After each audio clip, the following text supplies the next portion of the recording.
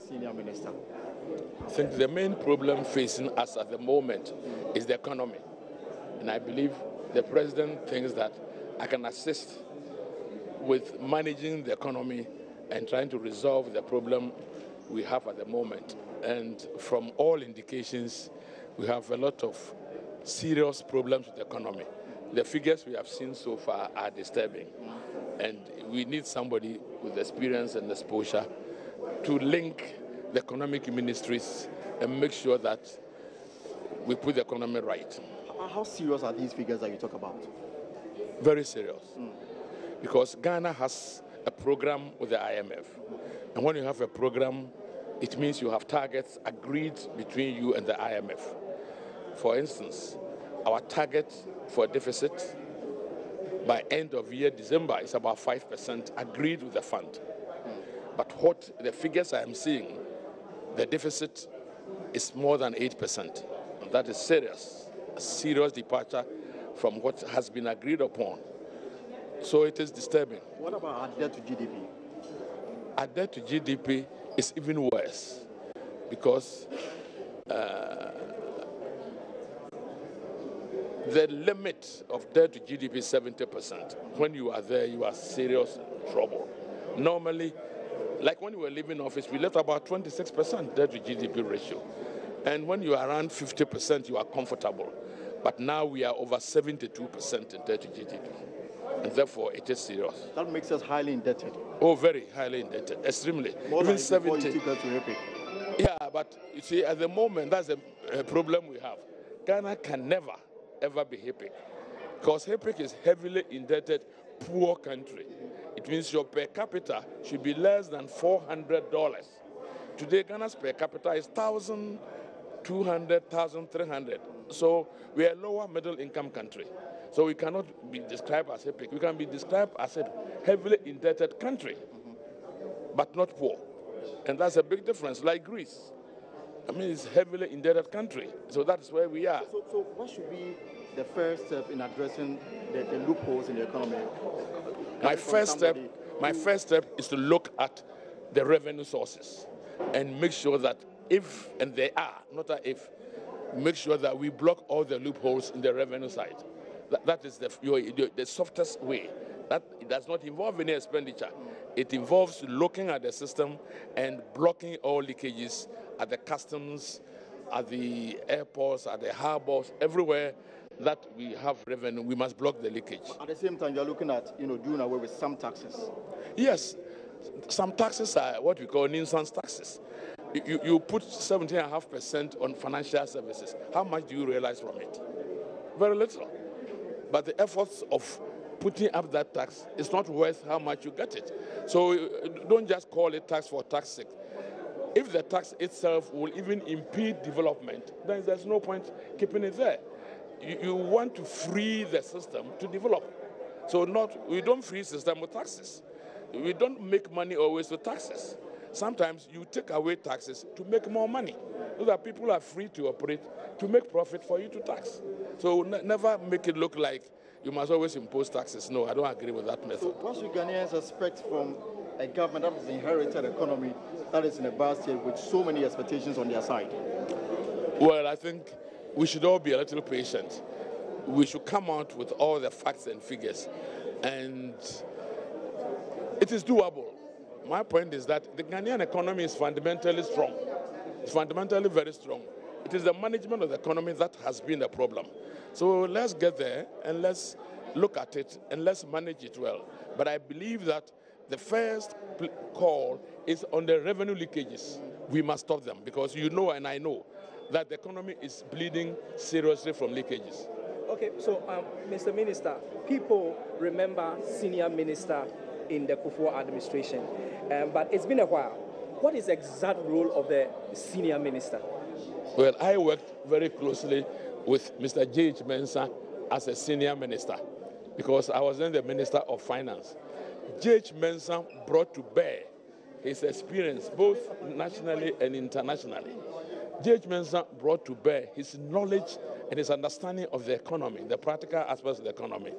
Therefore, the senior minister's role is um, imparting some experience to the younger people in respect of managing the economy.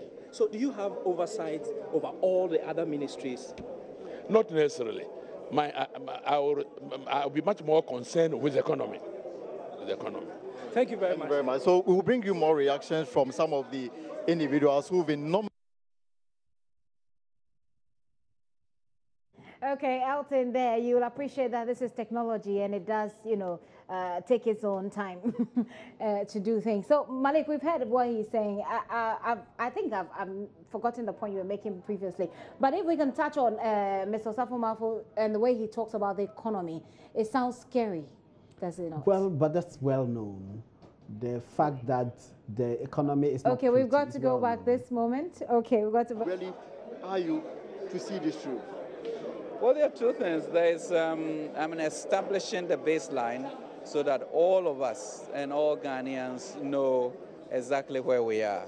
Uh, but when he says it's not looking good, it's because we are going to run a, a budget deficit of about, you know, north of 7%, maybe 8% this year. Which Now, be against what Ghana agreed with the IMF. well, it's supposed to be 3 to 5% or so. So, yeah, we would have broken it. But be that as it may, that's what it is. Um, so the question for us is, how do we turn this around? And I think we can. I, I think we can increase revenue uh, because there are certain leakages that we can block. I think we can get value for money um, in our expenditure, and that will also create, you know, that kind of space for us uh, and to reduce the budget deficit. And once you do that, you have space, you know, to then promote your agriculture and all of the other promises that we have. Uh, so I'm not deterred. I, I feel we need to know the truth, and it's because of the truth that people voted this way.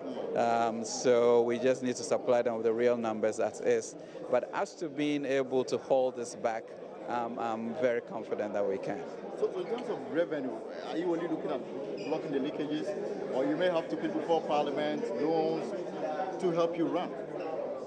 Well, I mean, in, in any budget, it's a combination of actual monies that you have and what you do to you do to supplement it. You know, so when you have a debt to GDP ratio, you know, over 70%, there are certain structural things you have to do. Uh, but that is, you know, financial engineering, and we'll do what we have to do for that to suppress the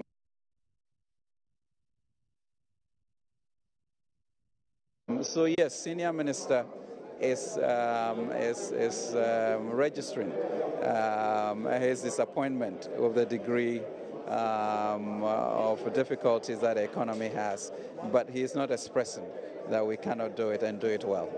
So, so, so, so sir, going forward now, when should we expect a budget, and what kind of budget should we expect from the, the NPP Well, administration? legally, we need to have budget passed by Parliament by 2017, March 31st. And so, as we speak, we're in the middle of putting that together. So we'll do that. And that will give a sense of the direction in which we are going to take. So in the face of the challenges that you have with the economy, are we still going to have the Zongo Development Fund, the $1 million to each district for their own development, the, the promise to create jobs generally? That really is an issue of reallocation of resources and priorities. Um, we are confident that we will do um, quite adequately in all of those areas that we have thought of. Uh, I don't doubt that we can. And what about Yeah. proposed reduction of some of the taxes that we have in our books? That we'll have to do. I think when taxes get too pernicious, uh, people have the tendency to do- dodge them, and then you criminalize good citizens. Um, I think we can cut down on some of those um, taxes, at the same time, be very vigilant and deliberate about revenue enhancement, and that we can do.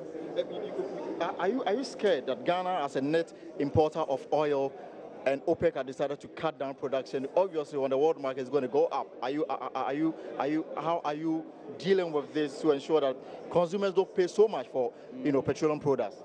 We will have to examine our energy mix, and I think um, um, we likely are going to get a little bit more from gas, um, which will then help um, with, you know, um, uh, giving us a chance to, to breathe uh, from that.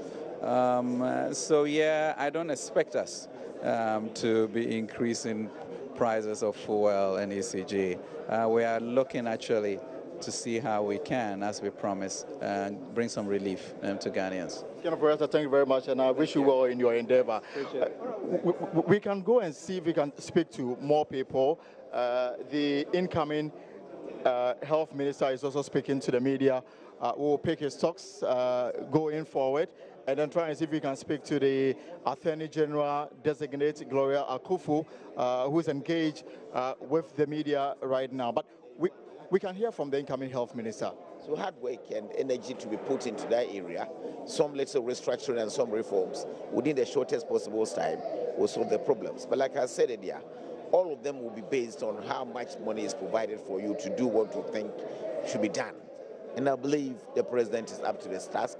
We look for the money and do what Kenyans will accept us for doing. Let's get back to the national health insurance issue. Now, um, it was brought about by the NPP government and another government came in. Over the years, um, Ghanaians have not been uh, very much happy with the way it's been handled. Um, the health insurance is virtually uh, said to have collapsed. Now, you being the health minister, are you going to revive and revamp the national health insurance? I've told some of my colleagues that within a few, the next six months, if we are not able to invest into the health insurance area, for people to begin to see elements of something happening new in that sector, my party and my government will be in trouble. So we are not going to relax at all. I have been the chief executive of health insurance once before though a very short, limited time, about four or five months.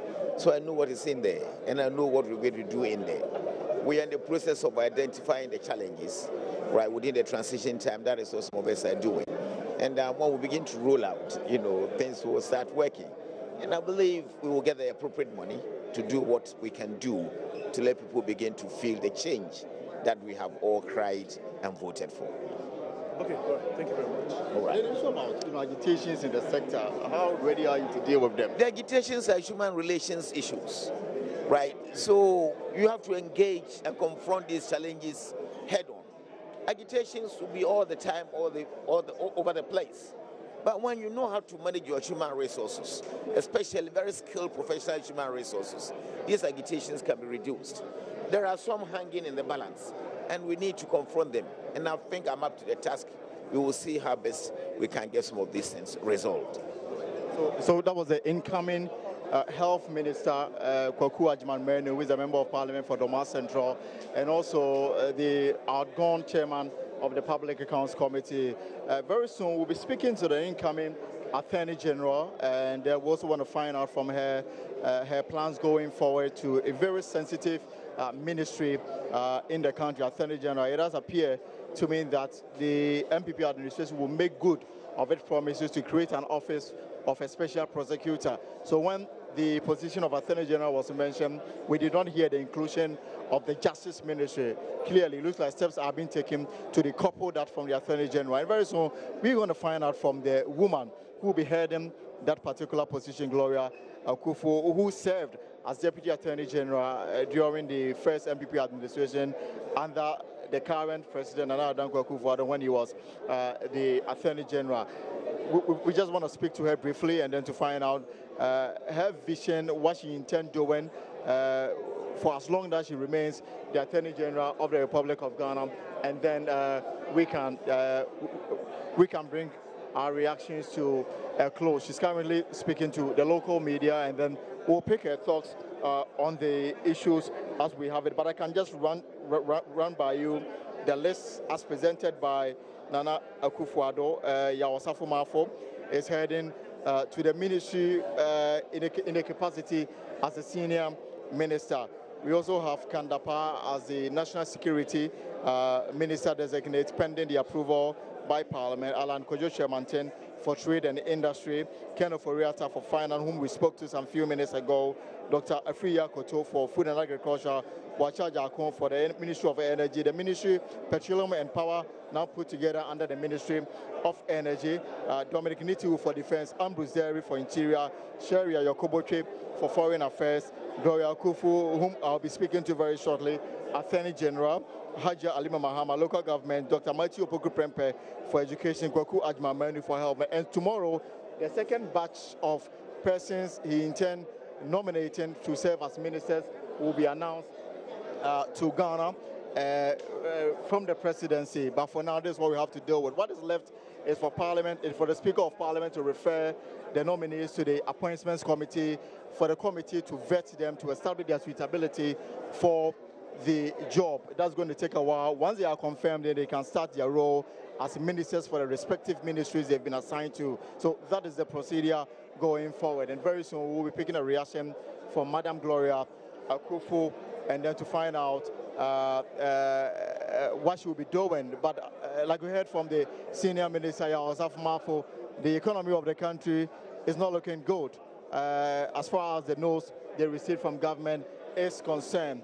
And uh, one of the key things that they will be doing will be to block the revenue leakages to ensure that they generate money uh, to deal with the challenges the economy is facing. But nevertheless, they are bent on reducing some of the taxes uh, they consider outrageous uh, uh, in conformity with the promises they made to Ghanaians in the run-up to the elections.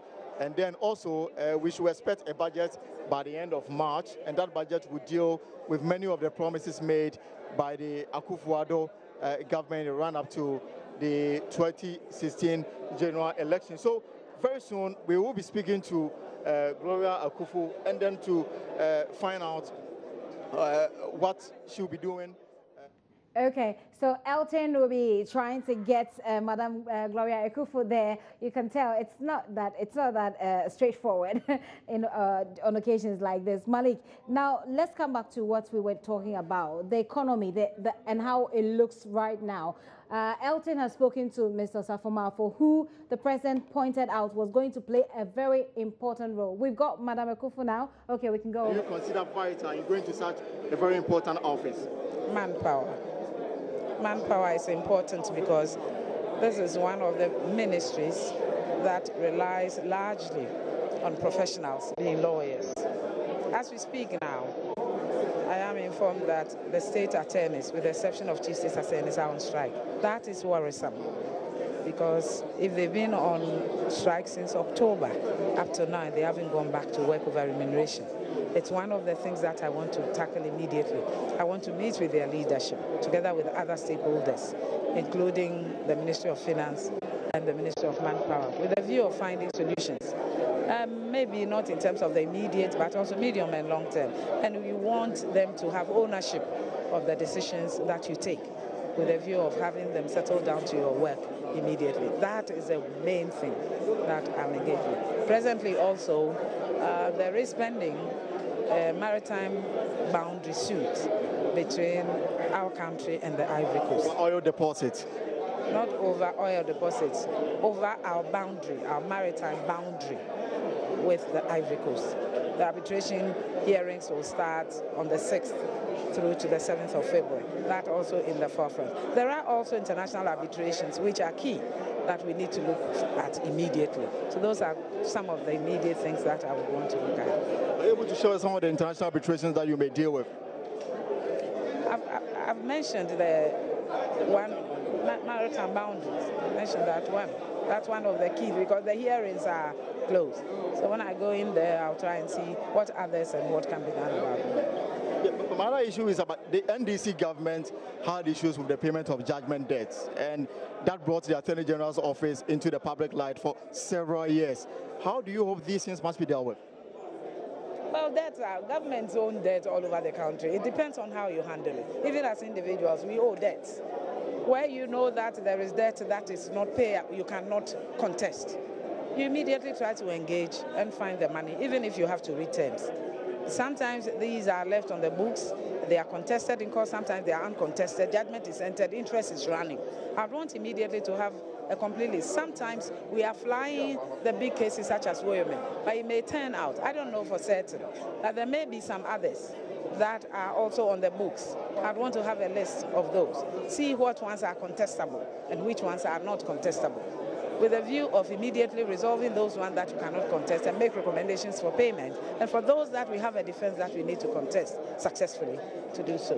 But it's important that you get to know the full list of what is on the books by way of judgment there. You spoke about Woyome and some aspect of his case is still before the court. Are you telling Ghanaians that you see to the logical conclusion of this case? I will see to everything, including Woyome. I'll see to everything which is on the table of the Attorney General, which is pending. Not only Woyome, but everything which is pending. When, when, when your name was mentioned, we didn't hear the justice aspect to the ministry. Is it a case that it's been decoupled already? It is the Attorney General and Minister for Justice. By law, when you go to the Constitution, it says there shall be an Attorney General who shall be a Minister of State. The other side of the Minister for Justice is because you have oversight over other departments and agencies relative to the law. So you have the Registrar Generals, you have um, Law Reform Commission, Council for Law Reporting, you have Legal Aid, Registrar General. So all these departments are under the office of the Attorney General, and that is what also makes you the Minister for Justice. The two are the, the, it's Attorney General and Minister for Justice. There's no decoupling. I know this is because people think that the prosecutorial powers of the Attorney General behind them. It is in the Constitution. It cannot just be taken away. And it is intended to resolve the issue about people who commit co uh, corruption in public service. For that, as an effort to cure that problem, the Special Prosecutor's Office is going to be set up to deal with that aspect. And under the law, the Attorney General can delegate part of the prosecutor powers to the special prosecutor with a view of focusing on that aspect. So the office is the Attorney General and Minister for Justice. Madam, I wish you very well in your new role. And then uh, that was the that was Gloria Akuffo. She is the incoming Attorney General. We want to speak to the last person, and then we'll bring uh, our coverage of this special of this special news and our, new, yeah, news uh, conference by the by the by the by the president, and it's catalog the 13 nominees so far. That name has been submitted to Parliament. Parliament now has a duty to now vet them and then determine whether they are suitable for the job or not. Like the president said, the names have already been given to Parliament. The Speaker, I'm sure, in the days to follow, will refer the matter to the Appointments Committee for them to start work on the nominees. And then they will have to report back to the House for the House to take a final decision on the nominees. We have 13 so far, and tomorrow uh, another news conference will come on for the other names uh, to form the cabinet, or better so, uh, the government of the Akufo-Addo administration. And we are still at the Jubilee House uh, picking reactions from the individuals uh, whose name came up for, you know, designation to the various of the Ghanaian economy. And very soon we'll speak to Dr. Afriyie Akoto, who is the Minister Designate for Food and Agriculture. And then we'll bring our coverage of this first news conference Uh, uh, as far as ministerial nominees are concerned by the president to a close, and then we'll, we'll, we'll, we'll, take leave from the Flagstaff House of the Republic of Ghana. But I can again run by you the list as presented.